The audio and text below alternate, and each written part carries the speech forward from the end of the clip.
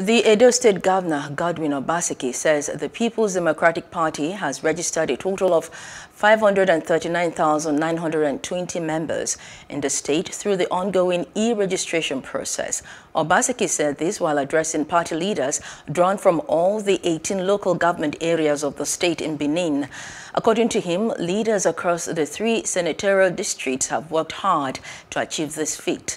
The governor also announced that the state was faced with the local government election, which he said would set the template for the general elections. In his contribution, a PDP chieftain, Tom Ikimi, dispelled the rumor making the round on social media that the governor was leaving the PDP. The PDP chairman in the state, Tony Aziegbemi, appealed to party members to remain united, stating that peace and unity were precursors of development. Hello. Hope you enjoyed the news. Please do subscribe to our YouTube channel and don't forget to hit the notification button so you get notified about fresh news updates.